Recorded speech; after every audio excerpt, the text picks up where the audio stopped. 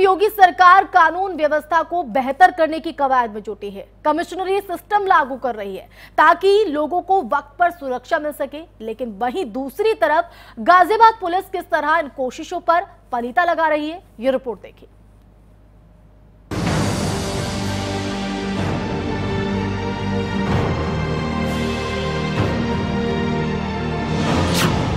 Ghaziabad police पर लापरवाही के आरोप। शव को लावारिस समझकर जलाने का आरोप। 4 जनवरी से लापता पवन शर्मा का था शव। पुलिस ने वक्त पर नहीं लिया संज्ञान। परिवार ने की सीएम योगी से इंसाफ की मांग। चार तारीख को बोल के गए कि तीन बजे तक आ जाएँगे। पर उसके बाद ना उनसे कोई बात हुई और ना वो आए। आज दस दिन हो गए कुछ नहीं पता।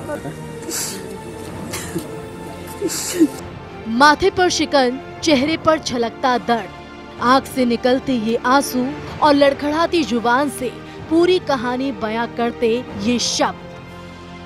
साफ़ ज़ाहिर कर रहे हैं कि इन्होंने किसी अपने को खोया है।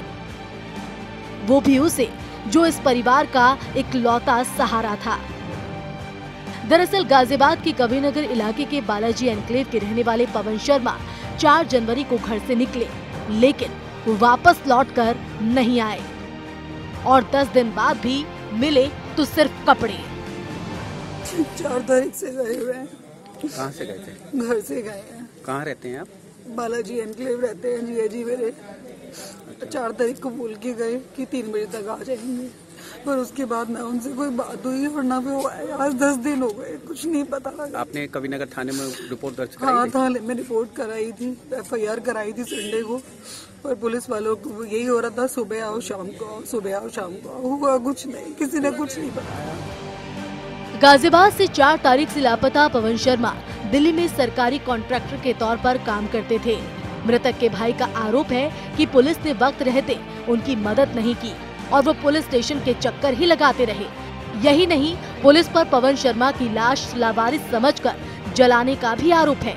अब पीड़ित परिवार ने सीएम योगी से इंसाफ की गुहार लगाई है। चार तारीख से वो चार तारीख को घर से गए थे उसके बाद वापस नहीं लौटे। हमने पाँच तारीख को कबीरनगर थाना में एफ़ आई आर दर्ज करवाई उनकी गुमशुदगी रिपोर्ट दर्ज कराई। पाँच तारीख से लेके दस तारीख तक हम रोज थाने के सुबह से लेके रात तक चक्कर काटते रहते थे जैसे आयो साहब कहते थे हम वैसे ही करते रहे। और हमें इसके अंदर पूरी की पूरी पुलिस की लापरवाही नज़र आ रही है क्योंकि हमारे पास अब तक डेड बॉडी तक नहीं मिली है। और हाँ, बॉडी तक भी उन्होंने बॉडी का भी दाह संस्कार कर दिया है। लावारिस में? लवारी उसमें गुमशुदगी उसमें। वहीं पुलिस जाँच की बात कहकर मामले से पल्ला झाड़ रही है।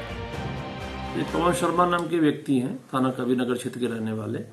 पाँच तारीख को इनके परिवारिक जनों ने ये सूचना दी थी थाने पर आकर के कि एक दिन पूर्व यानी चार तारीख को सायंकाल से लापता है और उनकी इस सूचना पर थाने पर उनकी गुमशुदगी पंजीकृत की गई थी और जाँच की जा रही थी। उनकी सीडीआर, सबका एनालिसिस किया जा रहा था और इस दौरान आज ये ज्ञात हुआ है कि उनकी जो डेड बॉडी है, वो सिंभावली थाना क्षेत्र में मिली थी।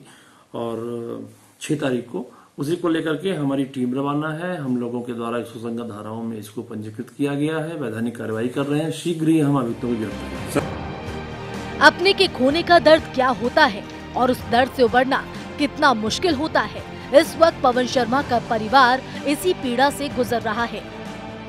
और ये पीड़ा सीधे पुलिस की लापरवाही की तरफ़ इशारा कर रही है। ऐसे में देखना होगा कि इस परिवार को कब तक इंसाफ मिलता है। गाजियाबाद से संवाददाता अनिल चौधरी की रिपोर्ट, आर नाइन टीवी।